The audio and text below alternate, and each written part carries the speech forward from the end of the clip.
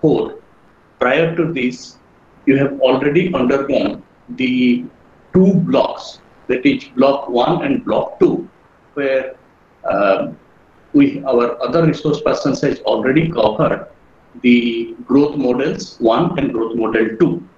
So growth model 1, we have already discussed introduction to economic growth, the Harrod Domar model, and the neoclassical growth model of Solow. Subsequently, we have also discussed the growth and distributions, the uh, total factor productivity and growth accounting, and the technological progress and technological change. Now, we have here slightly deviated and then skipped block 3, which will be covered by same resource persons again, that is covering the optimal economic growth, multi-sector model of growth, endogenous, endogenous growth models, and the stochastic growth model. Now, in the block 4 today, SAR would be covering the social and institutional aspects of development, which is also equally essential.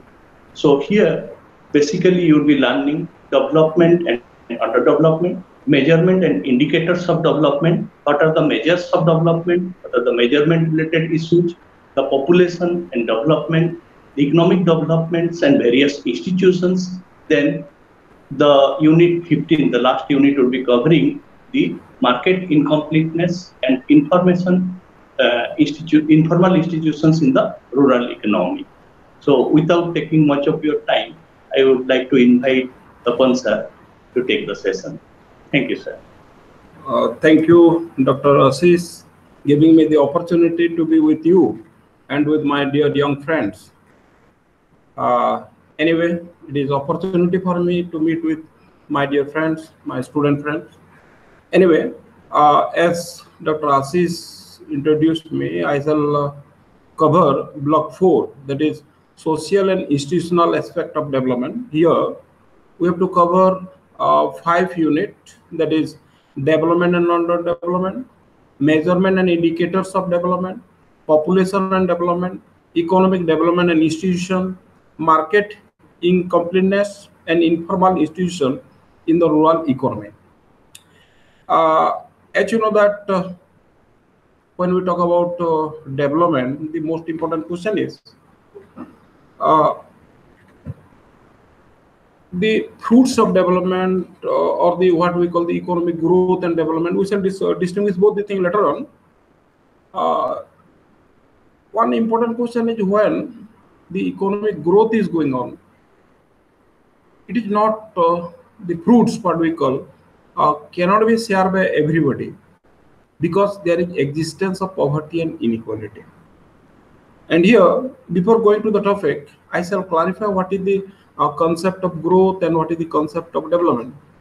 One question, uh, when we talk about economic growth, economic growth, you know that that is a, a quantitative term, for example, uh, the production of paddy or uh, take the, for example, uh, the increase in the production of wool or any other thing.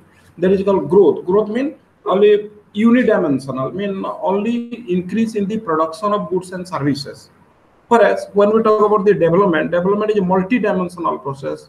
Here, uh, we talk about uh, this not only uh, increase in the uh, physical quantity, but also increase in the institutional changes, what we call, for example, uh, the technological changes, education, everything. That uh, so the question is that growth is a subset and development is a set. There is a whole concept.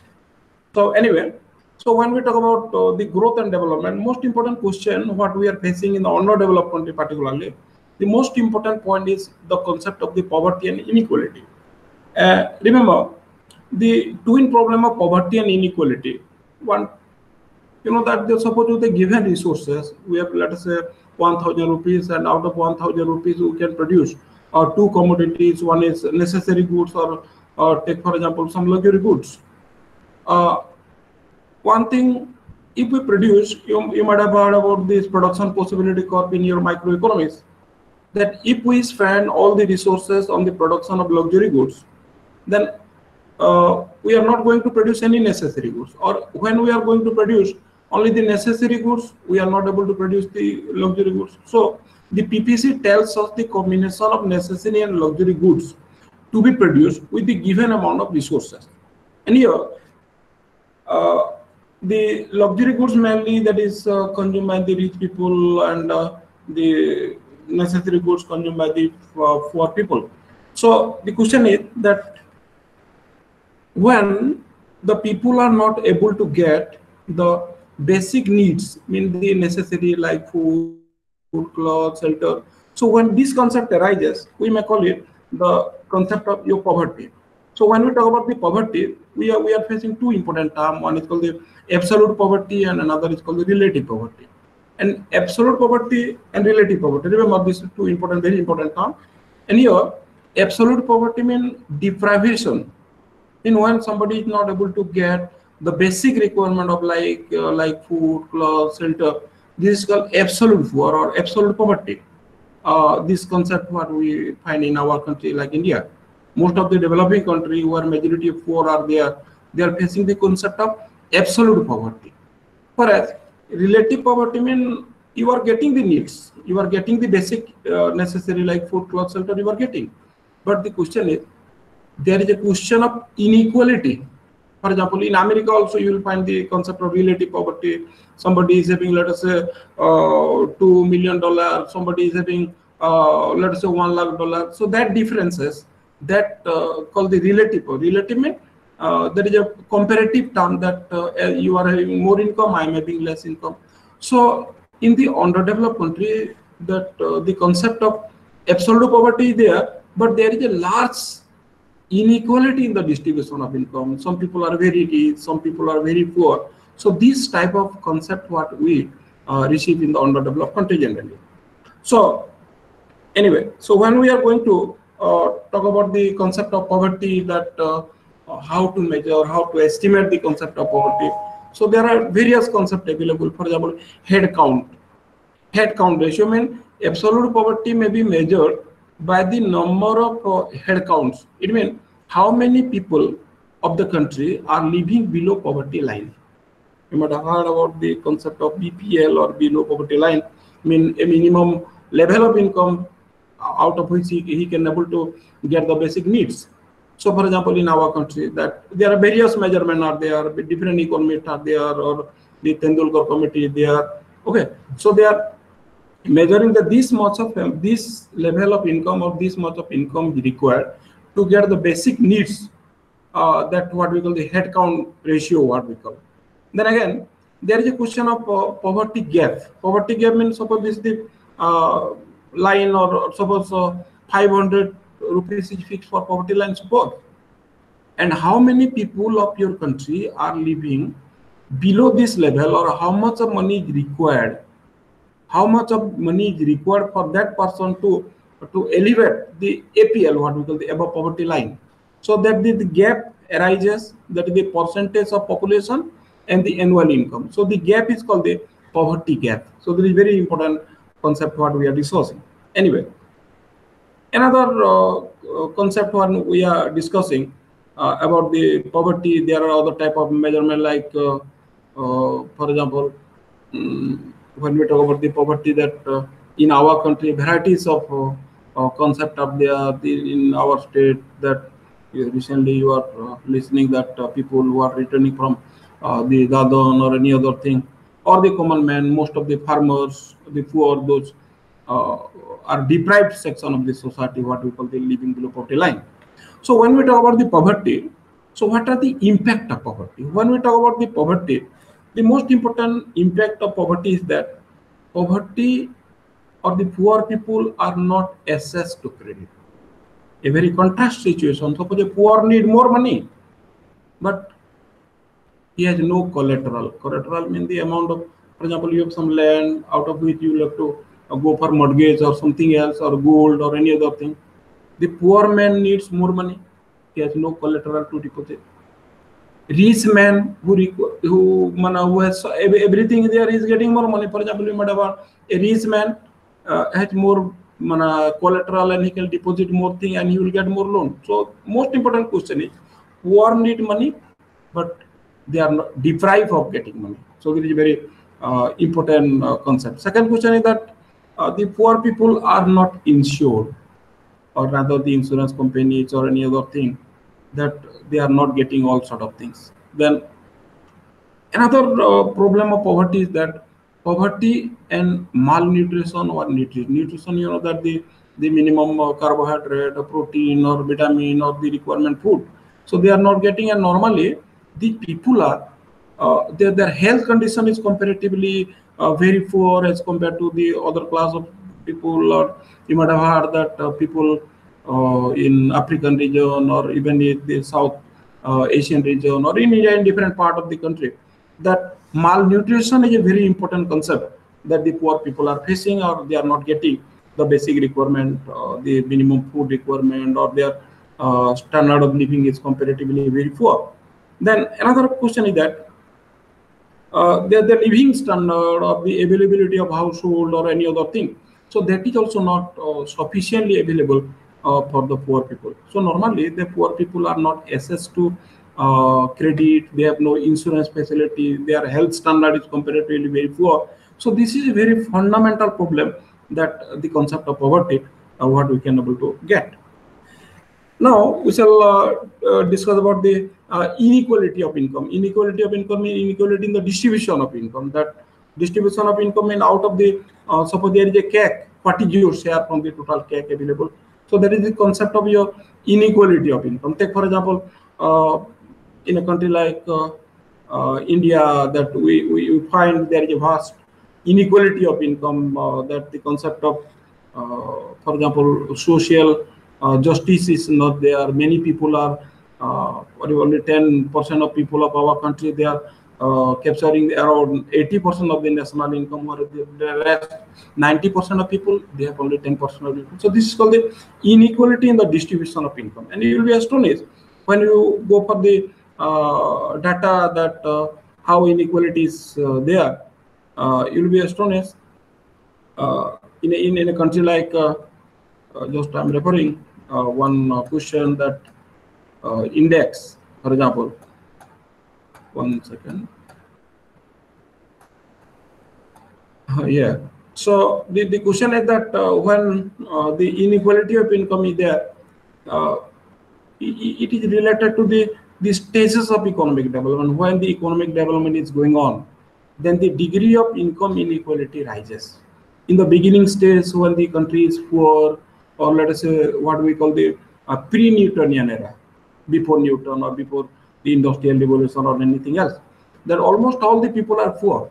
So in such a condition that there normally there is a uh, equality of income. If nobody is having any income, all are equal. But when economic growth takes place, some people particularly the rich section of the people, the enterprise class of the people, the business class of the people, or the producer class of the people, those who are, whom we call the, the haves class of the people. So the gap between the haves and have-nots that uh, increases and what Simon Kuznets called it, the opposite of U-shape of uh, the, the distribution system. So question is, when the economic development going on, the fruits of development is normally pocketed by a few class of people or, or a few, few rich class of people. So the inequality continue, continue over a longer period of time. So it, it has been discussed with the help of the Lorenz curve or any other activity that uh, from the equal distribution curve, what is the difference the country lies or when the, the Lorenz curve is far from the equal distribution curve, the level of poverty is comparatively more in a country anyway, in our country or in almost all, not only India, almost all the underdeveloped countries, they are facing such a situation where poverty and inequality are continuously rising over a period of time. Anyway, so another question that uh, oh, what will happen when uh, there is equal distribution of income?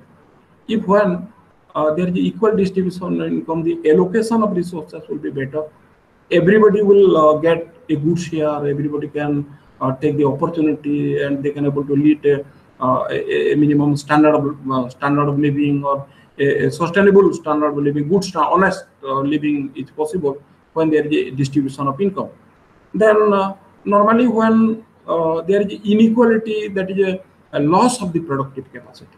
Majority of the people, 80% of the people, suppose uh, they are uh, not getting good sizable income, automatically their productive capacity is less and uh, their health standard is poor, their uh, access to credit is poor, less, and they are not in a position uh, to go for uh, a, a, better economic uh, participation in the country. So normally that many economists they view that there is a loss of human welfare, loss of welfare in the society when automatically uh, distribution is not equal. So when there is equal distribution of income, there will be no wastage of resources, proper distribution of income, bring equality in the uh, parity in the society or what we call the egalitarian type of society or uh, what we call the socialistic pattern of society can bring a better allocation of resources. The productivity will not be no, not be less and automatically welfare of the society will be better when there is a uh, equality or proper distribution of income in the society. So anyway, so what shall we do to eradicate uh, this sort of thing? That another one important question is that we have to uh, how equality is possible. Question is that uh, you are having more income, she or he is having very less income. So here the question is, suppose a bucket of uh, a balti or bucket is there with full of water and one is empty, then you will have to withdraw some water. It means you have to impose taxes upon the rich people and take that part of the income and that to that is to be used for the development of the, the poorer class of the society. So the question is when there is a progressive rate of taxes, progressive taxes I mean when your level of income rises, automatically uh, the rate of taxes will go up. And if a progressive tax or tax on the luxury goods increases automatically, then distribution will be possible and the, the poor will get good fruit and the equality is possible and poverty can be eliminated properly.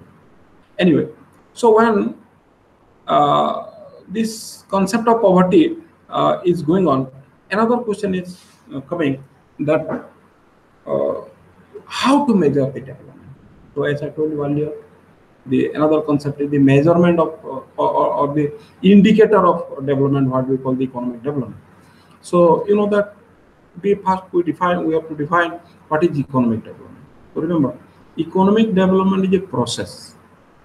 Economic development is a process whereby the real per capita income, real per capita income increases over a period of time.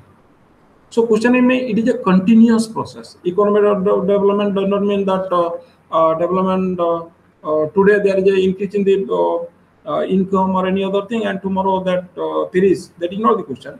When income level of the society increases over a period of time, over a period of, period of time, a long period of time, and that process is called the uh, real per capita. Remember, money per capita income and real per capita income. Here, real per capita income in income in terms of goods and services, the standard of living of the people will increase.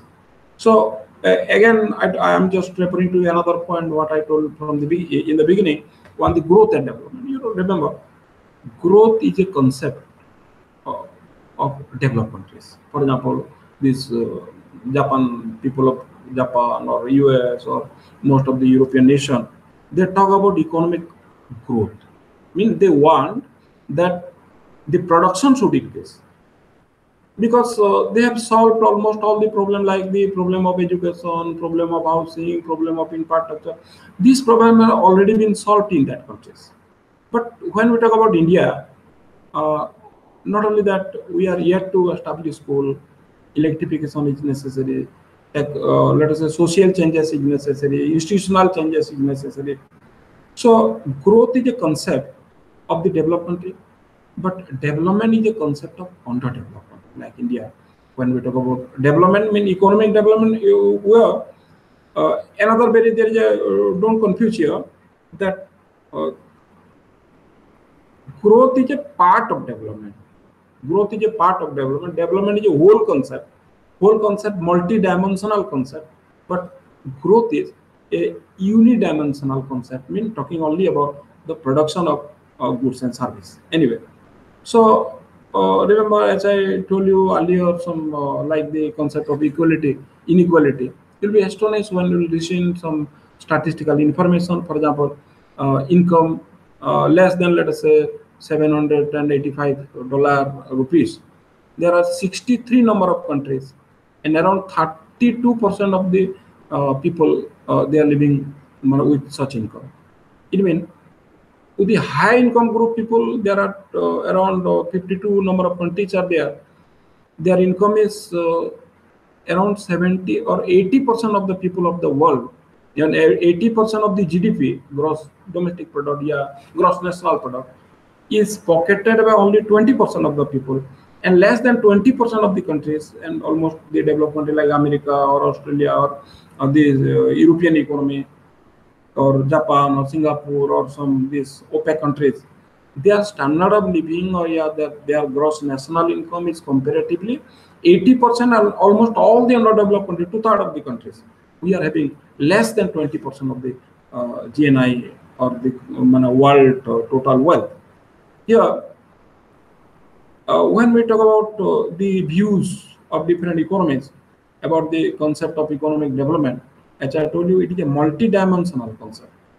Uh, we have to increase not only the per capita income, but also some structural changes if necessary some occupational changes is necessary, some other changes or many changes is necessary in the underdeveloped country. So remember, uh, here we have to um, some economists have viewed that when we talk about the development, a first question is that we have to increase the level of employment in the country, whether the employment is changing or employment is not changing. That is another very important concept. Second question is uh, the changes in the composition of export. Composition of export means, uh, suppose in a basket, what type of goods and service you are exporting. For example, India. Uh, for a long period of time, we were a primary exporting country. Primary product, primary product means ingredient product we are exporting, whose market value or in the international market comparatively it is very less. So, what type of goods and services we are exporting, and what type of goods and services we are importing so the question is that when there is a change in the composition of export over a period of time, new goods, technological goods, or which market price is comparatively very high, if such type of goods are exported to other country, definitely we sell that the development growth is taking place. Then another question, most of the important hindrance, what we call the rate of increase in population. So question is that underdeveloped countries of the world, uh, they are packed with around uh, two-thirds of the population of the world. So in a country like India here, that the rate of increase in population is comparatively very high. And when we can able to break uh, the growth of population over a period of time, we can say that development is taking place. So another question is the distribution of income. So distribution of income means this here that the talks about the question of equality then how much of, uh, what, whether there is a uh, fair distribution of income or unfair distribution of income. So when there is a fair distribution of income or equal distribution of income, automatically economic development, uh, you you can see the economic development in the country. So uh, uh, I told you four important things. One question is that employment should increase. There is a shift in the composition of export then the rate of increase in population should be under control and there should be a proper distribution of income. If all these four things takes place, we can say that uh, the development is taking place. Uh, here, now shall come uh, mm, into another very important topic that is uh, uh, indicators of development or indicators of economic welfare. Indicator, you know that something which indicates that is called indicator. For example, when you are going with your bike, there is indicator. When you uh, put a left or right, automatically you will see that uh, where the driver is going on. So similarly, what are the indicators of development? Whether the development is visible or not visible, in what way we can see the development, and that is as indicators of development. Anyway, so there are different type of indicator. One important indicator is your gross national product. The most important indicator most popular indicator, what we call the gross national product. So remember, when the GNP or yeah, gross national product of a country is increasing over a period of time, we can say that economic development is taking place. So there is a simple assumption that when GNP is increasing, that economic development is taking place. But this is uh, there are many demerits and uh, many uh, debate related to the GNP. For example, uh, if uh, the GNP is increasing, but the population is increasing, and the population is increasing faster than GNP. Suppose GNP is increasing at a rate of 10%, and population is increasing at a rate of 15%, for example. So you cannot say that the development is taking place. This is one very important uh, defect of this measurement. Another question is uh, the, the GNP, suppose uh, a country is, uh, mm, the GNP is increasing because only few rich people, few enterprise, for example, in, in our country like Reliance or Tata or Dalmia or Adani or any other, suppose their income is increasing, automatically GNP will increase. But when GNP of this Reliance or Tata or Dalmia or anybody is increasing, it is not necessary that the standard of living of the people of your village or your ward or your town or your suburban area is increasing. You know, this is very important question. That some people are getting the benefit, but this is just like the mathematical average. When we talk about the mathematical average, uh, the mean will tell the thing, but that is not the uh, perfect one. Another question is that uh, the GNP may increase when we produce more number of luxury goods and services.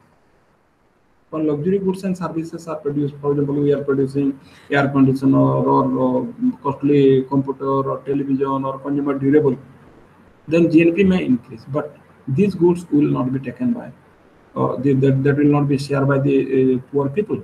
So question is, uh, GNP is increasing, but standard of living is not increasing, and the economic development is not taking place as a whole. So the question is that GNP is not a, a good indicator, and uh, there is a many challenges to the concept of GNP. Uh, another concept uh, we have developed, or economists agree, is per capita income. Per capita income, you know that the, that is the total national income of the country divided by the population. That is only per capita income or PCI. So when the per capita income or per capita, you may tell the real income of the country is increasing over a period of time. It is also the same, uh, facing the same criticism. Per capita income may increase when there is increase in the income of a section of people.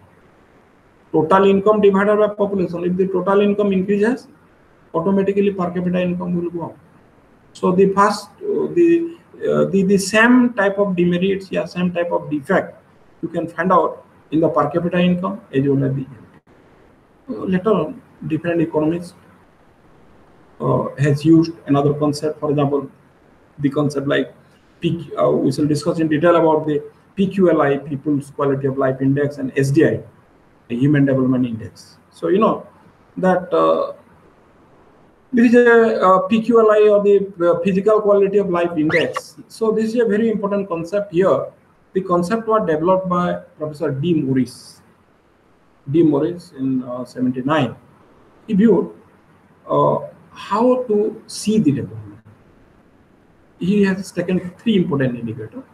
One indicator is life expectancy at birth. Life expectancy means the average number of life a person live from his birth till death. So that is called LEI or life expectancy at age or LIE. So when the life expectancy of a country is increasing, it means the average number of year is increasing, automatically we can say that the standard of living or economic development is taking place. Second important question is infant mortality. Infant mortality means the death rate of the children. Uh, when the number of infant de- or yeah, the children death of children is very high, we can say that development is not taking place. Uh, or when the third important question is literacy or education attainment ratio, what we call. So he has taken three important indicators. One indicator is well, for example, in India, that in 1951, for example, the life expectancy was just 32 years. 32 years. And today, it is 67 years. It means life expectancy has increased. Similarly, we'll uh, go to the infant mortality rate, uh, in the beginning of the uh, 19th century, for example, 1901, 20th century, beginning of the 20th century, the death rate of the children was around 236 per 1000 children to birth. And today, it has come down to less than 30. In some states, like in Odisha, it is comparatively very high. In Kerala, it is very less. Third important question is uh, literacy rate. For example, in, in 1901, the rate of literacy in our country was just only 5 5%. 5% were illiterate. Literate. In 1951, the rate of literacy was just 18%. And in the last census, 2011, it was uh, 74.75 or around 75%. Today, uh, as we are yet to get the uh, new information about the census is not coming. Around suppose 80% of the people from 5% to 80%, there has been increase in the rate of, rate of literacy. So when the rate of literacy rises, automatically we can say that economic development is taking place. So these are three important indicators uh, Professor D. Morris has taken, and on the basis of that, uh, he has uh, given points.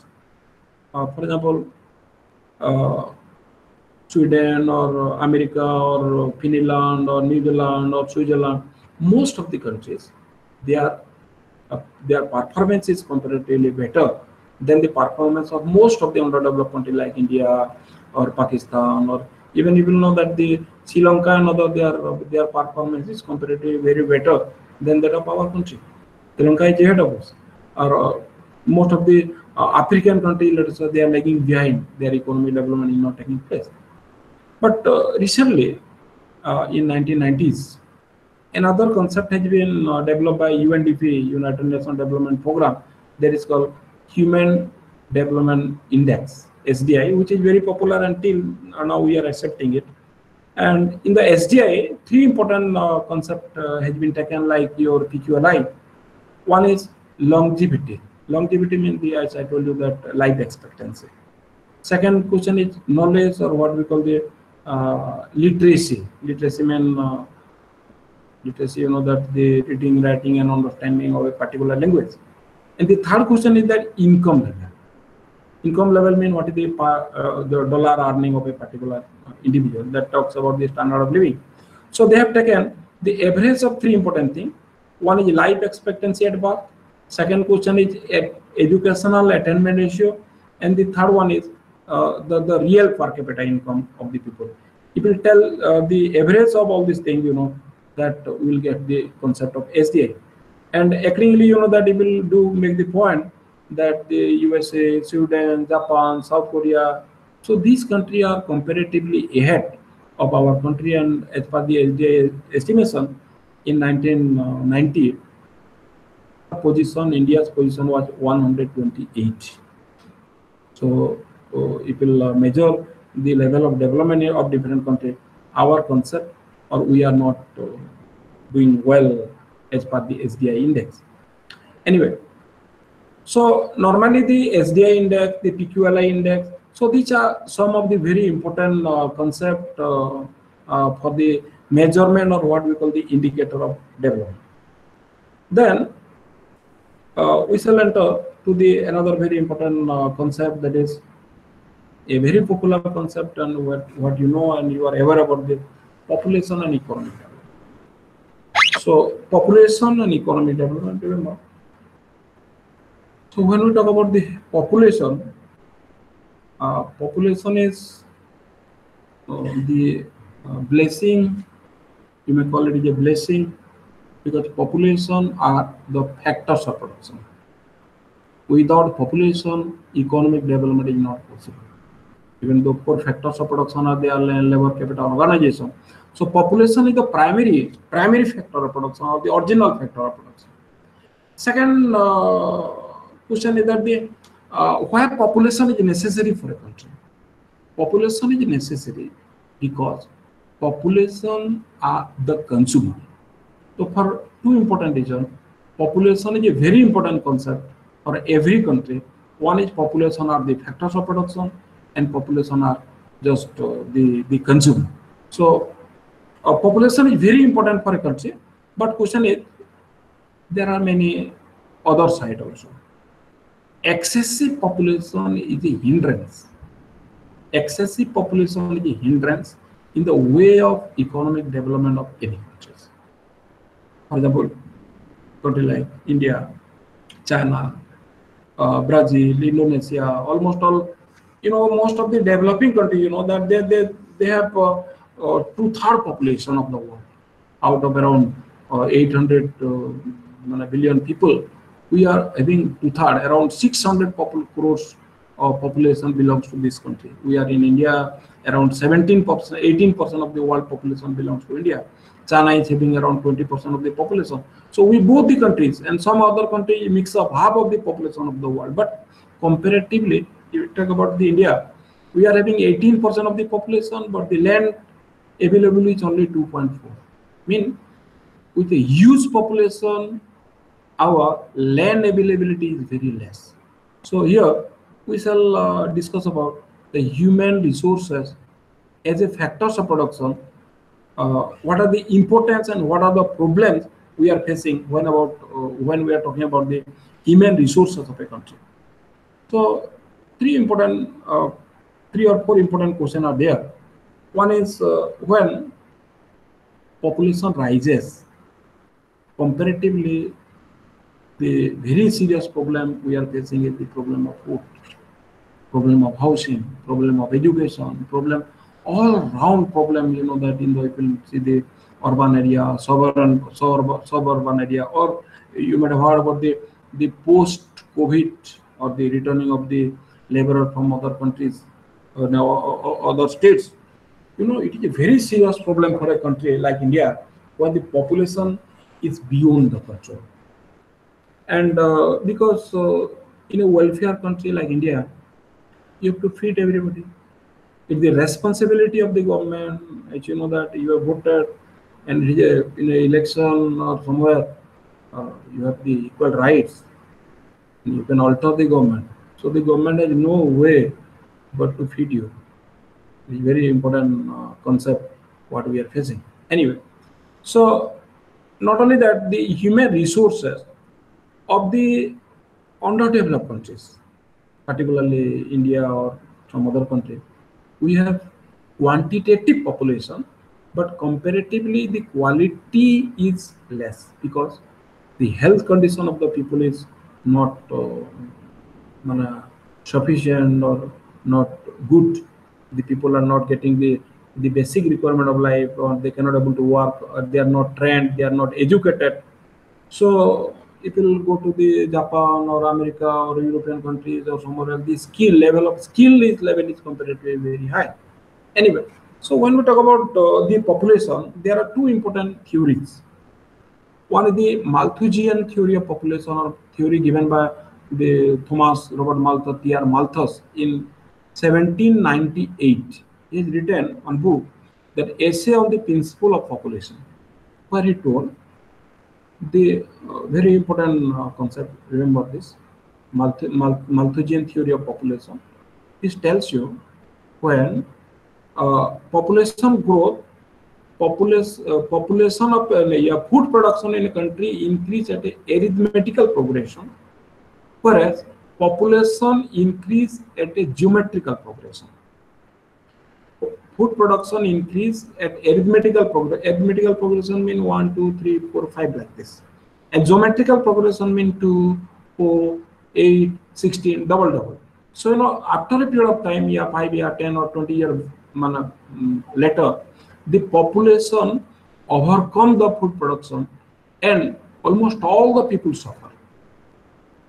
And if you the population rises faster than the level of food production. That was the view given by uh, Thomas Robert Malthus, or that is popularly known as Malthusian theory.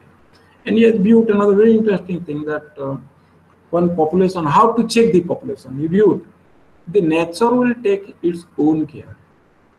And there is very important topic going on today around the world. Discussion is going on among the economists the nature when the population is or when there is overpopulation people will not get food different pro problem like your war natural calamities diseases like covid-19 or any other thing so it will take its own care it means automatically population uh, will uh, be stand still and that can be safe. So there was a view, uh, many may not agree, and there is a negative view comparatively, we will say. Uh, but uh, in a country like India, I will say the Malthusian theory of population is not uh, applicable to our country. For example, in 1951, you know that our population was around 40 crores population in our country, and today 120 or 130 crores population. I mean, within the last uh, 70 years, the population has increased three times. But if we go to the food production in 1951, the food production was around 50 million ton, and today 297 million ton. In this year, 295 million ton. I mean, four time increase in the food production. The Malthusian theory of population is not applicable to our country, and that has been uh, criticized by many economists. Anyway, uh, if you go to the the uh, concept of uh, the uh, population, another theory has been developed by different economists, like that is called the optimum theory of population. And what the optimum theory tells? Uh, remember the First World War. After the First World War, many people died, and uh, the, the the productive capacity, uh, this uh, fertility ratio of most of the European countries comparatively very low. And there was a discussion among the people that how to increase the population. For the first time of the for the first time in the history, economists and the policymakers they think that there should be a minimum level of population because if there is a shortage or scarcity of population, we will face the problem like uh, the, the problem of factors of production or when there is no population where you will get the consumer. And the problem what uh, this European economy in Europe population is stable. In uh, USSR or, or earlier USSR today Russia, the population is negative. There is a negative growth of population. So according to this theory, uh, a tolerable limit when the per capita income or the real per capita income is increasing and population is increasing but the real per capita income is increasing at a faster rate than the population of uh, your country then uh, it is not dangerous thing. A limit is there when the per capita income and population growth are equal after that it is a problem so some economists they viewed India is still not overpopulated because our uh, per capita income is increasing more than the rate of population. So this is also another concept given by economists. Anyway, uh, the third important concept we shall discuss about the theory of demographic transition. Demographic, you know that demographic means the science of population is called demographic. The science of population is called demographic. According to demographers, there are three stages of population growth. Three stages, first, second, and third stage. What the first stage? In the first stage, the concept is high birth rate and high death rate. High birth rate, high death rate. Second stage, high birth rate, low death rate, and third stage, low birth rate, low death rate. So what the it is related to economic development. Remember, the demographic transition is related to economic development when the country is a very undeveloped one, like the African countries or India before independent, uh, when it is a very undeveloped country, the birth rate is comparatively very high. And due to lack of uh, education or proper care is not taking place. And the death rate is very high because there is no proper, uh, what we call the medical facility available so the infant mortality rate or the maternal mortality rate or the death rate of the mother is comparatively very high. So birth rate and death rate, when both are high, the net growth of population is very less. For example, if you uh, talk the that uh, tell the data of 1901, the, the birth rate was 49 per thousand and death rate was 47. So 49 minus 47, that is 2. The net growth of population was only 2. So it is not a real concern. But remember, uh, when there is a underdevelopment or the country is an undeveloped one or very poor one, they are facing the first stage of population, uh, the demographic transition. And then uh, the, the second stage, in the second stage, whatever, the birth rate is still high, high birth rate, but uh, the death rate is low. For example, after independence in India, uh, promptly the government has taken different type of action, establishment of hospital, immunization program, control of diseases, control of famines, or any other thing. That there has been a sharp decline in the death rate. Death rate has come down, but uh, birth rate is continued to be high. For example, uh, after independence, people talk in 1951 or in 1971, 81, you know, that there is a, suddenly there is a decrease in the death rate, but birth rate continued to be high. For example, uh, in 1981, you will say that the birth rate was uh, 30 uh, per thousand, whereas the death rate come down to 10. I mean, there is a 20 increase in the population. It means uh, the growth rate is comparatively very high when the country is uh, developing.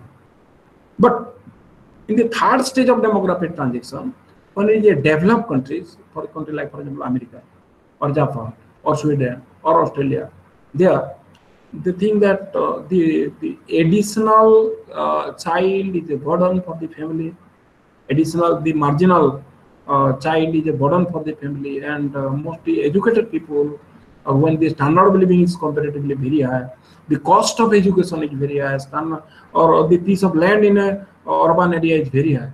People do not prefer a big family. So most of the rich people, and particularly in the developed country, uh, they favor a small family. And so the birth rate is comparatively very. Here the education plays very vital role. And uh, the problem like the cost of living is a very important question and the death rate is even eventually because uh, there is a good medical facility available. The death rate is low. So almost today, people go to any European country, the birth rate and death rate are almost all equal. It is around 8 to 10. The, the birth rate is 10 and uh, the death rate is around 8 or 7. So in the first stage of demographic transition, uh, where the country is very undeveloped one, the growth rate of population was less when you go to the uh, third stage of demographic transition, uh, that is uh, the developed country, the growth rate is very high. But when you go to the second stage of demographic transition, for example, India, where uh, the question of overpopulation or population explosion takes place in the second stage. So we are in the second stage of a demographic transition till now. Our status has not increased, but uh, many countries, many uh, European country or this American country or some of the uh, developed country of the Asian region, they are able to reduce the problem of population. Anyway, so population, as I told you, here population is both uh, uh, blessing in one hand and there is a curse in another. A sizable population is the need of the hour and uh, overpopulation is a dangerous thing. Like our country today we have witnessed many things that uh, how the population is you have to take care of uh, the hospital or the education or many other things you have to uh, take into consideration. Anyway so uh, here we shall discuss about when we talk about the demography certain basic concept you will have to understand uh, one is life expected. Life expectancy, I'm just giving hints about it. One the average number of life the people are living. For example, in India, the life expectancy is around uh, 67. Second question is infant mortality rate. So these are certain important um, points to know. Infant mortality means the death rate, remember it is calculated per thousand. And in an undeveloped country, where there is no medical facilities, when there is no other type of facilities available, infant mortality is comparatively very high. Uh, in the underdeveloped country, in the, uh, including India, I will go to uh, the African region or somewhere else, that the infant mortality rate is very high. And another question is age composition. This is very important concept. Today, we are just uh, happy that uh, India is the youngest country of the world, and even our leaders prime minister, everybody are there making praise. Uh, we are the youngest nation. So here we talk about three important concepts. Uh, the distribution of this. Of the age is distributed into three parts. One is called the uh, the child population 0 to 14 then working population 15 to 59 that is called the working population and the the last one is 60 and above that is called the old population so age composition here tells you what uh, what percentage of people of your country are living in which? And in our country? Uh, you'll be astonished that uh, uh, we are the youngest nation of the world because majority of the people are uh, between uh, uh, 35 age 35 age but here very important question. Uh, 0 to 14 what is called the child population. 60 and above that is called the old population. And both the group the child population as well as the the uh, infant population or the uh, sorry the old population both are consumer they do not participate in the production. The child is not working, the old men are not working. So the question is, what is the percentage of working population in your country? And you will astonish around 40 out of 100, 40% of the people are working population and 60% of the population are just consumer in our country. 60% are consumer, 40% are, so in a, in a family of uh, five, only two are working and three are consuming. And that is very uh, dangerous thing available in a country like India. Another question is uh, that uh, the, the sex composition or what we call the uh, sex ratio. Sex ratio means uh, the number of female per 1000 of male. Number of female per 1000 of male. So it is, it is, it will, uh, you might have come across in your graduation level that it is against the female country female population in our country. For example, in uh, last census or in 2011, uh, 2001 census, so it was 933, 933 female per 1000 of male. In the last census, it was 940. It means uh, if the, if the as per biology, uh, discussed with my friend uh, line Pratul Tripathi told once that it should be uh, 1000 is to 1008. 1000 male is to 1008. If, if, if there is no check, biology tells like this. But in our country, it is very serious condition. You go to state like your Punjab, uh, state like your uh, Haryana, in Bihar, Rajasthan, it is around 850 female.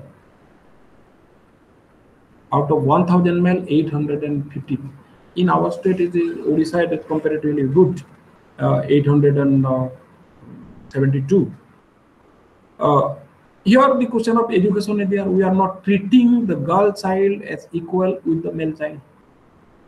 If you go to the state distribution or the district distribution uh, kerala is the state in india where the girl number or, or the, the female is 1040 per 1000 male it is 140 in odisha ganjam probably ganjam is the only district where the female are more than the male. But uh, the most educated district most educated district of odisha is khurda district for example. You will astonish if you go to the data. There is 901 901 female for so when educated people are also creating problem and they do not want to see same status with their male child with the female child. So this is a very serious problem. In European economy, even in America, even in US, USSR or the Russia, there is 1150, 1150 female per 1000. Uh, there is a scarcity of male in the country like your Russia.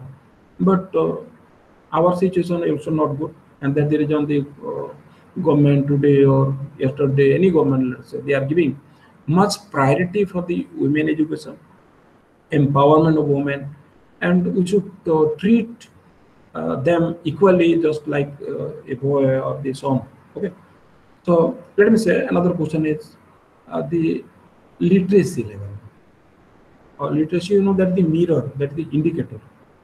Uh, literacy, as the definition tells, that a person who is able to read, write, or understand a particular language, he is called literate.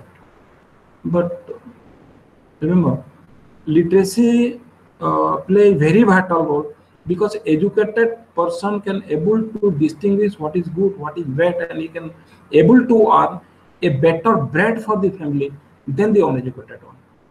Educated people, you know that here when the people are, educated, there is a chance of occupational distribution occupational distribution is possible and people can jump from one occupation to another occupation from from agrarian society to industrial society or some service sector. So education plays a very important role. And the rate of literacy you know that again i told you that it is in almost all the underdeveloped country it is comparatively very poor. Whereas in the developed country the rate of literacy is around 99 but uh, still now in our country it is 75 or maybe we'll uh, consider the new data, new series of data, it is 80 to 85 percent. Still, 15 percent people or 20 to 50 percent people are illiterate in our country. So this is another very important question. And another serious problem uh, what we are facing today, it is very important in the post-COVID scenario that the rural-urban distribution. You know, everybody want to stay in town, in the urban area because availability of all facilities are there opportunity for getting a job is better as compared to the village. And uh, due the small farmer the marginal farmer the agricultural laborer they are not able to earn their bread in the villages. So migration is a very serious problem.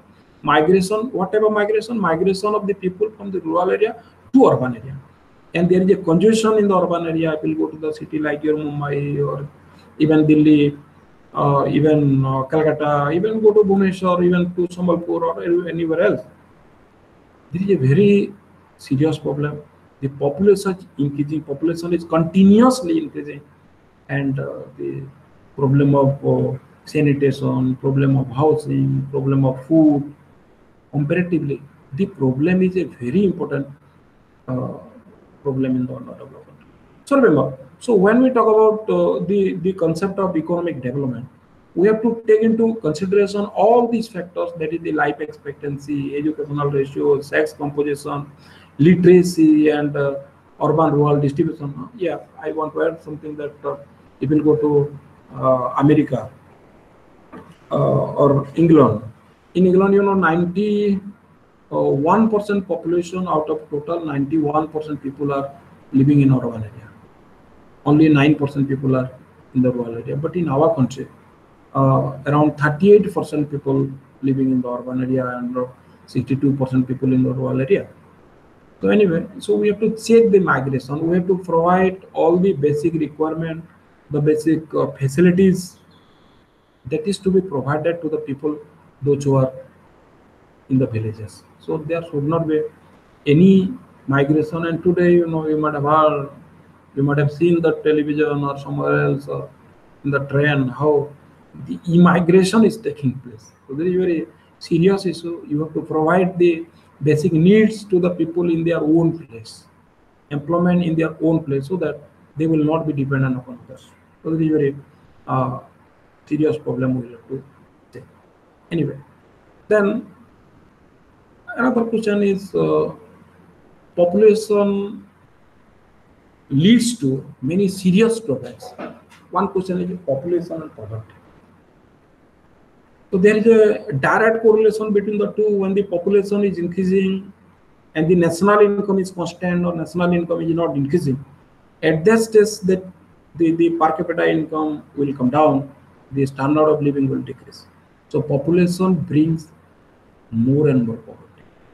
Poverty uh, one most important contribution the population has made to our country is this that is population. Population contributes greater way for more and more poverty. Second question is uh, environment and population. So there is again there is a direct relation between the two. Population growth has a negative effect on environment. The population growth makes increasing demand for natural factor like land, water, forest, air, everything, and that is constant. Population is rising, but the natural resources is constant. So there is over exploitation of resources. So when there is over exploitation of resources. Again, I told you, remember the word I have used, the Malthusian way, nature will take its own care. Nature will take its own care. If you exploit the nature, day will come, the nature will exploit you. Will cut all the trees, you know, that we are just worried about why the elephants are coming to the town. Elephants are coming to the town because you have got their forest. You have entered to their area, so they are entering to you. So, environmental pollution, which today most of the economists, most of the policy makers, most of the uh, political uh, boss or the philosopher, there we should be more careful for a good environment and what we call the sustainable development. Sustainable development, you know that development which does not compromise the needs of the future generation. So real development is the development which is sustainable, continued over a period of time. The next generation should not suffer due to your fault. You should not destroy the whole of the environment. So population is playing a very very vital role in destroying the environment. So excessive population is a dangerous thing and we have to uh, check the population growth. Anyway, sustainable development is the need of the hour. Protection of environment is the need of the hour.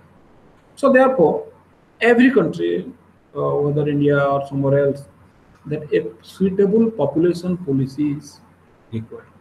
Uh, be astonished, our country was the first country of the world in 1951-52 who have adopted the population policy, a family planning program, family welfare program, different program we have adopted, but uh, almost all um, we are not successful till now. Even though the, the growth rate has come down, you know that in 1991, even even nine, uh, 1981, the population was ri- rising around 2% and more. And today it has come down to 1.6, uh, 1.54. 1.54, that is the growth rate today. But the absolute growth is very high. Every year, uh, we are adding one Australia in our two-year country, one Australia in every year. I mean, two crores population. The population of Australia is two crores. In our country, India, we are adding one Australia, one continent every year. So that is a population policy is a required thing that uh, in our country, latest uh, during the period of Vajpayee, uh, new population policy was introduced in uh, 2000, new population policy. Here, uh, we, we have a dream of uh, a stabilization of population by the year 2045. Stabilization of population by the year 2045. So that is the ambition, and we have to encourage these uh, people for go for family planning program. Family planning uh, does not mean only the reducing the size, size of the children or size of the family. It is uh, what we call the a, a better parent, healthier children, and happier home. So that should be the concept, and uh, proper immunization, proper facility, proper education. It will provide all the needs to the people. Normally, they will not prefer a big family, and it is a hard time. You know, the urban people uh, here the hospital is available, medicine is available, or uh, everything, the infrastructure is available. So that's the reason they are able to control the population here. Only 35% people trying to control, but 70% of the people, those who are living in the villages, they are trying to multiply the size of the population. It's a very uh, serious issue to be deal with. So that's the reason uh, a, a population policy should be there and uh, the objective should be uh, to provide full employment to the people. Full employment is it should be the agenda agenda of the government. Full employment to be provided to the people. Second is that uh, women empowerment is necessary so that uh, the participation work the participation in the working participation of the women should be more. For example, uh, in our country, as far the data available, only 11% of the women are working women and 89% uh, of the women they are other housewives or doing some household work and out of that 11% only 3% of women are working in uh, uh, different offices, uh, organized sector, what we call. And 8% people are working in agrarian sector, which is unorganized. So we have to, but people go to European country, people go to Mana, Italy or France or Germany or any other country. Here the working women percentage is 65. But in our country, it is only 11. So we are having a very huge population, but most of the people are either just not working or when they're not working, unemployed, disguised unemployed, unemployed, or seasonal unemployed, you have to provide them food. If unemployed people will not take food, then it is not a problem. But they are taking the share of the people, those who are working. And that is the most serious uh, problem uh, related to your uh, population. So population is to be controlled. Women empowerment is to be increased and uh, good education is to be provided and sustainable development is to be provided so that we can able to deal the situation in a better way. Then we shall enter to another uh, discussion that is uh, in a country, underdeveloped country, uh, there is some institution of economic development. There are certain institutions, and uh, here we shall discuss about the um, different type of institution like the government institution or the market failure or any other thing. Let me say, introduce this thing. So institution uh, here mana implies the for example uh, the concept of market failure. Let me come to the point market failure. So you might have heard about Adam Smith that once you view that if you go to microeconomics or macroeconomics, the earlier economists or the classical economists, they viewed that there should be a laissez-faire state. Let the individual be alone. There should be individual freedom. And there should be a perfect competition. No interference from the side of the government should be a mere spectator. It should monitor the law and order situation defense of the country, justice, nothing more, nothing more, nothing less. So that was a view that is given by the classical economists. But uh, post-Keynesian, post-Keynesian means this after the Great Depression of 1930s, uh, we view that government is, has to play a dominant role. The, the participation of government particularly for the welfare of the people or when they the when the market is not uh, able to give you the desired result or market is failed. Failed mean when the demand and supply are not adjusting each other and when it is not a perfect competition type of things that the uh, government should come here we shall come across two important concepts the concept of Pareto optimality Pareto V Pareto you might have heard the welfare economy we might have discussed if you that it is not possible to make someone better off.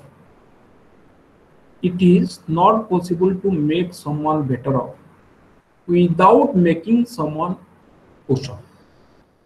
View it is not possible to make someone better off without making someone worse off. And according to Pareto economic welfare means if there is a improvement of any one individual without making harm to any other individual okay without making harm to any individual if some individual is better off then the social welfare is maximized. There is a view given by Pareto so the concept of welfare tells you that uh, there is the economic efficiency, economic efficiency, better utilization or allocation of resources can able to bring a better welfare for the society. But remember, there is a situation, uh, you know, that perfect competition is a myth. Always perfect competition is not available. Perfect competition is not available always. There may not be large number buyer seller, a free entry exit. So there is some monopoly element so when there is a monopoly element in the economy, here the concept of market or the market is not able to fulfill the desire of the people. So when we talk about uh, this, uh, we have to uh, discuss about the concept of public goods. Uh, you know that public goods are those goods which are supplied by the government. And here, the principle of exclusion is not applied. For example, a road or a lighthouse. Market cannot supply you all these things, or the demand and supply, or something else that will not supply the things. So, a lighthouse or a drainage system in your town. Private individual will not supply this thing. So, these goods are called public goods, and here the market fails to supply supply the public goods. Here, the role of the government is very important uh, because without uh, the interference of the government, without the uh, suppose today uh, we, we are talking about development, the role of government is prime. Because there are certain things here without, for example, education, uh, free education, or uh, if you go to the school level or colleges somewhere else, your education is almost all free in our country. Uh, though we have uh, fundamental right to education act up to 14 year will get free education. And after that also if you go to government school or colleges if you compare other european economy or any any other country other than that of you india and some uh, welfare oriented country the cost of education is very high. So here it is the government to come forward government to satisfy the needs. And remember when the go government supply these things the principle of MC equal to MR, uh, the profit maximization, what you remember the microeconomics. Uh, profit is maximized when marginal cost equal to marginal revenue. And here this condition failed because the government supplies even if there is certain loss. Loss.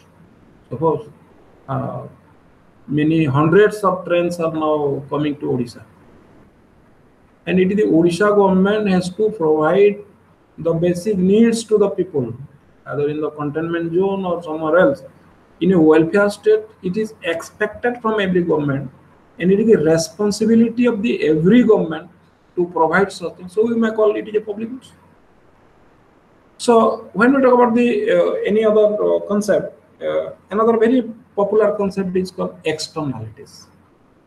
Uh, remember, I'm just giving some example. Uh, suppose externalities mean uh, action of one individual or firm affect the individual or firm. Your action, when your action affects the action of others, that is called externalities.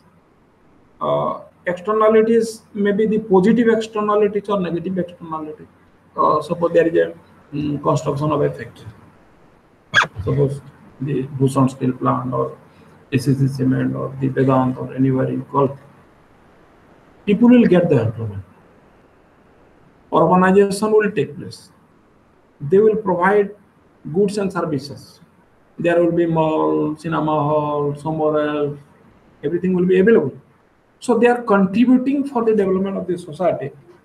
When they are contributing, provide employment, generating employment, or any other one, electrification, urbanization, there is called the positive side. And negative externalities mean when they are creating um, environmental pollution. For when a big large-scale industry is established, automatically the river will be polluted. There will be air pollution. There will be water pollution. So if all sort of thing will take place, so that is called the negative externality. So when we take a project, we have to decide uh, when the negative externality is greater than the positive externalities, when the negative is greater than the positive externalities, we should not allow all such type of project. When it is creating more environmental pollution or any other, it is, it is a challenge for the sustainable development of the country. We should not allow such type of project.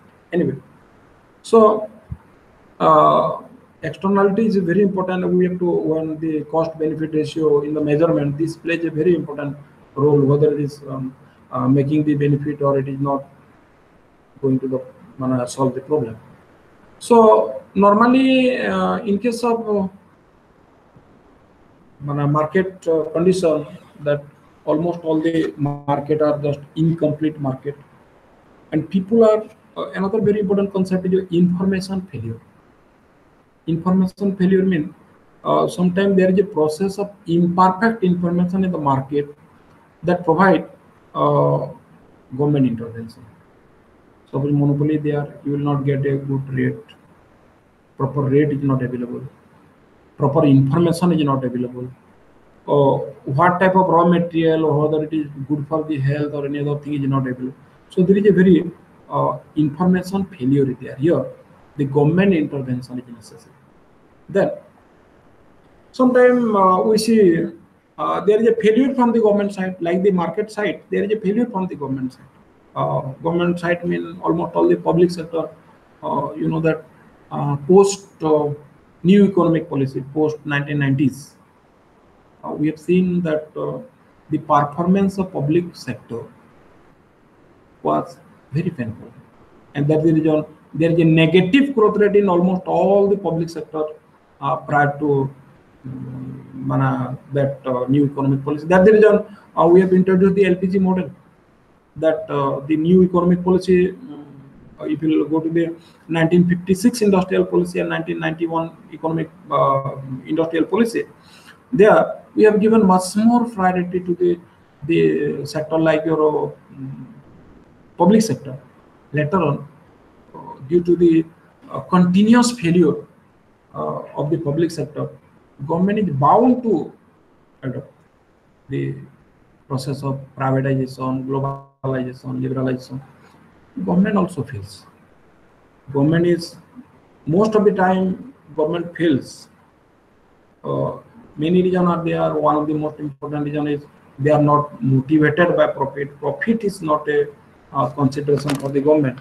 Similarly, uh, you know that you might have heard, you are reading every day, there is a high level of um, corruption in the government machinery. So when a uh, particular um, project is undertaken, a high volume of corruption is taking place. That's the reason uh, most of the project of government is not giving the satisfactory result.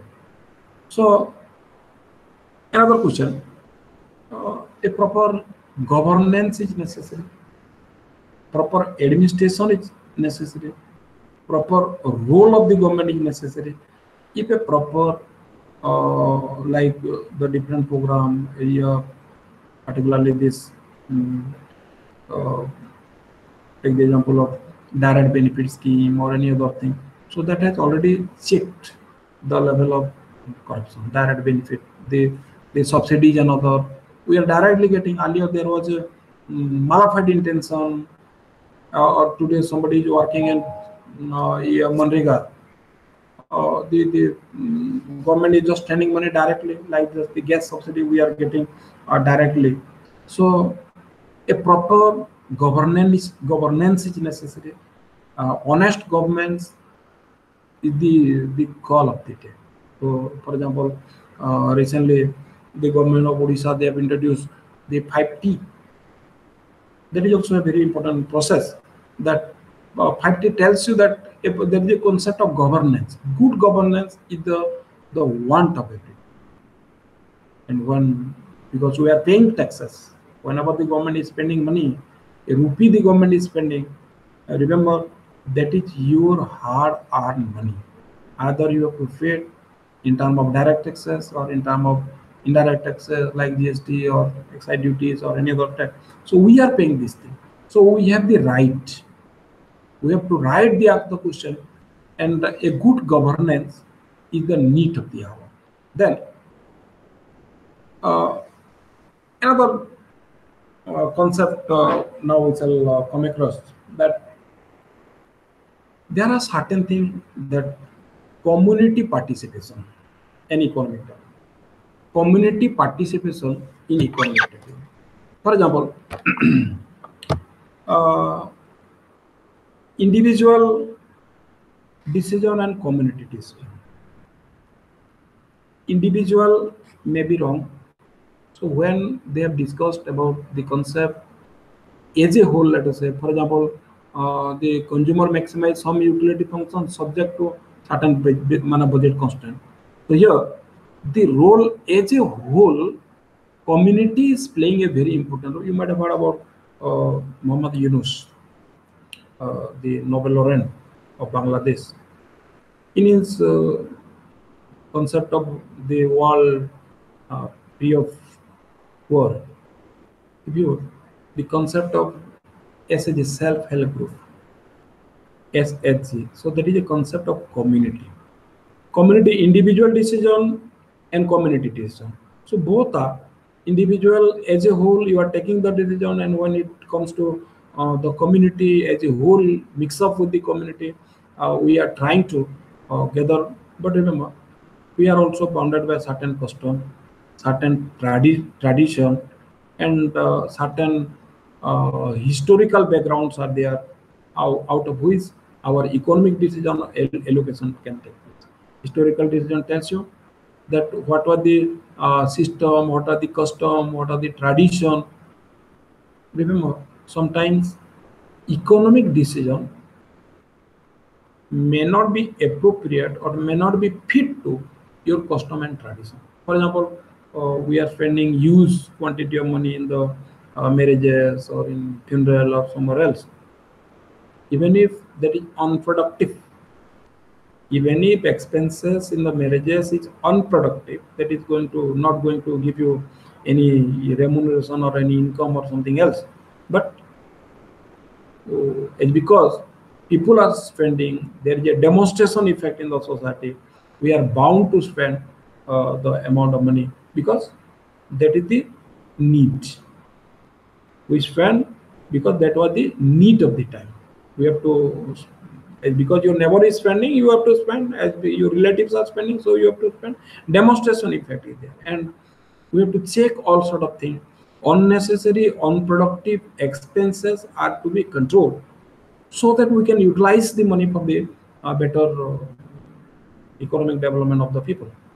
So anyway, as uh, we are going to the, the uh, final part of discussion, that market may not give you the full things. Government control is necessary. And uh, particularly when we talk about the factors of production, the particularly two important factors, the land and labor, both are uh, primary factors of production that is available in the rural area and the problem of the people of the rural area is comparatively very high as compared to the people of the urban area because one very important question that um, most of the time it is debated discussed the credit market in the rural area whenever you are making want to make a startup or when you want to spend some money for any particular purpose uh, credit market is not conducive, not helpful uh, to the um, people in the village area. They are dependent upon uh, the village money lenders. I remember the village money lender, he exploits. He may be the landowner, he may be the employer, or he is the money lender, and he exploits the people with a high rate of uh, interest. You know that uh, it will go to villages of the countryside that the rate of interest is almost all 120 percent mean out of 10 on 100 rupees you have to pay 10 rupees per month mean uh, 12 into 10 that is 120 percent is the rate of interest and the organized sector the bank cooperatives and other even the the government is giving direction for them to provide loan and other facility to the villages but they are not reaching to the villages here, the government is giving, Odisha government, you know, that they are giving loan to the farmer with 1% rate of interest. But the loan is not available in time. The poor farmers, the needy farmers, they are not getting the opportunities. Again, this rich farmer, will astonish that from the cooperative bank, many rich farmers are taking loan credit with 1 or 2%. And they are just giving loan to others with a huge rate of let us say uh, 5 rupees per month or 10 rupees per month in worst case so this is the way there is a exploitation by the rich uh, pigeons to the poor people and the banks and other available they are not performing their duty in a proper way in the villages. Again Uh, when we enter uh, to the conclusion part, uh, proper information is necessary, proper sustainability is necessary, proper guidance is necessary, proper education is necessary. If we deal all these things in a better way or in a proper way, economic development is not impossible. So our uh, prime minister is making a dream of five trillion economy uh, be, before before COVID nineteen. Five trillion economy, but today we are, as the discussion is going on, you are reading newspaper daily. The countries, um, just like uh, we were discussing about a post Keynesian. In course of time, uh,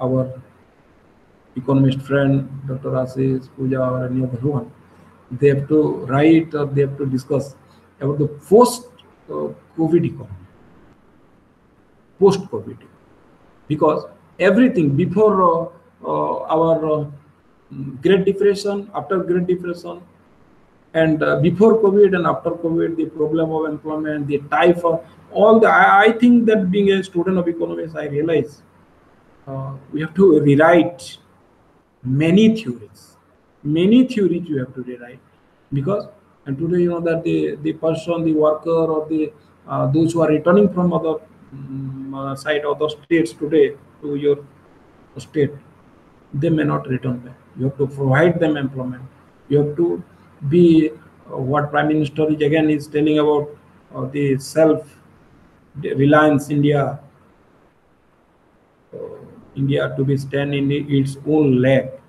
And we have to rewrite many theories and the concept of globalization has been changed. And today, we as the citizen, our responsibility is increasing. It is joining hand together. Uh, maybe your course, you have to appear the examination, that is another question. You have to read, you can score marks, that is another question. But as a student of social science, I request all of you uh, to give more time, think about it, what the common man will do if all the fruits will be taken by a group of people. You have to, it is your responsibility, it is my responsibility, it is everybody's responsibility to bring back the economy to the road. New situation will arise, new challenges will arise, and uh, it is your opportunity, it is my opportunity that we are living in a world today. We are the citizen of post-COVID, pre-COVID or post-COVID, both world. Let us say today. We have to rewrite the things. Development is to be rewrite in a better way, and responsibility is increasing. Everybody's responsibility. This was today. Thank you everybody for participation. Uh, I think due to constraint of time, I may not satisfy your desire. But however, Thank you, Dr. Ashish, uh, Ms. Pooja, and other giving me the opportunity to share my thought with the young friends. Thanks a lot, sir. Actually, you have done a lot of justice, and I could see the constancy with which all these 12 participants were there. They have not moved out, they have not logged out, and they're listening very carefully to various concepts that you have discussed on the social and institutional aspects uh, of development. This is very, very interesting and insightful as well. I'm sure our learners would have got immensely benefited out of this session. You have touched upon the concept of property, the relative versus the absolute property, what is inequality and the inequality of income, and how the tax and transfer mechanism can deal with the inequality and uh, leads towards some degree of equality. Then we also discussed what is economic development, various indicators of economic development, including uh, human development index, which encompasses various uh, theories, um, various various factors like education, then the health, uh, life expectancy. I mean, I would like to say, and the uh, life expectancy, education, and the income parameter, that is per capita income. then population and the economic development and the role that economic the population plays both both from the demand side as well as from the supply side in the uh, economic development process.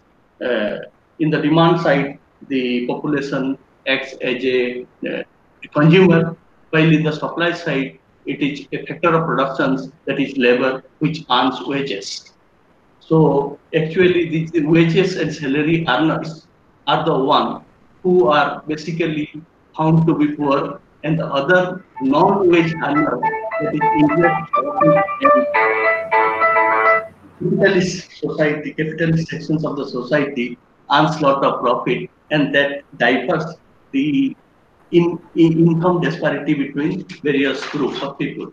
In this context, we have also discussed various theories relating to population, such as the Malthusian theory, which is talking basically about how the population growth is linear, whereas the food supply is non-linear, or other resources growth is non-linear uh, over a period of time, and that causes a lot of problems. Further, we have also discussed the optimum control or this optimum theory of population, where various combinations of birth rate and death rate over in different time zone of a country, time phases of a, phases of a country uh, is talked about. Then, then we have also discussed how India is a young nation today, and there is a scope for demographic dividend that is, this young mass can really contribute to the growth. If we miss this opportunity, probably we will not get this at a later stage. Then the occupational distributions was also discussed, uh, touching upon the migration issues, then rural-urban migration issues, then basic uh, mm, uh, theories, basic uh, relationship between the environment and population was discussed. Then the sustainable development every year uh, how India is adding to its population, which is equal to the Australian population, and then what is the role of government and what government is planning to achieve by 2045, that is stabilizing the population. Then we have also discussed how women empowerment and education are critical. Then the concept of market failure, then the minimal role of the government, the concept of Pareto optimality, then institutions are basically a law. In institutions is basically nothing but the humanly devised constraints that shapes the human interactions. So institutions are basically laws, customs, and traditions of a society. We would like to see the individual and the firm work within the boundaries of these institutions when they work, uh, work or when they buy or when they sell or when they act as any economic agent. So good institutions are very essential to promote growth in a society. Similarly, bad institutions may hamper the economic growth process. This is what we have discussed. And then we have discussed about the concept of um, externality. Uh, there are some students who have in between were asking questions. One question that was on uh, of, uh, the concept of externality one student has asked, I have already answered this through the chat box. Uh, that is basically the actions of one agent, uh, of any agent, which is affecting the actions of other agents either negatively or positively. I have given the example of a COVID-19 uh, patients or persons who hides the decision of his being affected and then get mixed with the society will have a definite negative externality for the society because he will impact other individuals. So this is the example I have cited here so that people can connect. Similarly, there are a lot of examples of positive externality. A learned person may spread uh, education uh, or awareness in and around his surroundings, how to uh, save yourself from COVID-19 and that could be a positive externality. His mere presence and guiding the people in the society could have positive implications. A similar example, a smoker uh, who smokes spreads negative externality uh, because the person standing next to him could be a passive smoker. there is there is another question that was asked on population, what is the Malthusian theory of population, which I have already answered uh, here. Um, if the students have any more questions, they can still write. However, we have also has discussed nicely the concept of uh, government intervention and how such government interventions are necessary for correcting the market. Uh, market means if there is a market failure for some reason or other, the uh, maybe in the case of public goods or externality, generally the market fails, and there the interference of the government very, very essential. Similarly, the rural problems are highlighted, and we all know the rural problems are very, very essential or more in comparison to the problems that in urban India faces. And the particular problem specific to the credit market was also mentioned because in the rural area, the credit market is underdeveloped and the people are facing a lot of problems because they have to take help of the local money lender and um, therefore they are not getting timely access to credit which is very very essential for producing their product particularly agricultural product um, so if you have any questions, please feel free to ask. And otherwise, I would like to thank sir. And then you have two, three minutes. You can ask some questions. I'm sure sir will take it. If any question is there, please feel free. Two questions were asked, which I have answered sir through the chat mode, because I thought it might affect the flow. Um,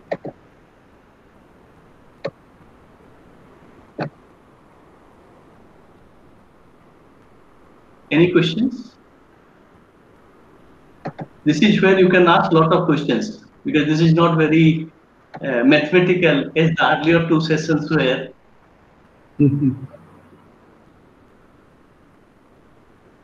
okay. And Nishant has already shared the link for your feedback. Please share your feedback before leaving the session. If there is no questions, we should formally close. Thank you, sir. Thank you. And then hope to see you again uh, very soon in this forum. Okay. Thank you, everyone, everybody, for, uh, for your patience listening. Even though there is time constraint, uh, thank you, everyone, everyone, and thank you, Dr. Asis, Ms. Puja, and all Nishan Bhai, everybody. Thank you. Thank you, sir formally closing the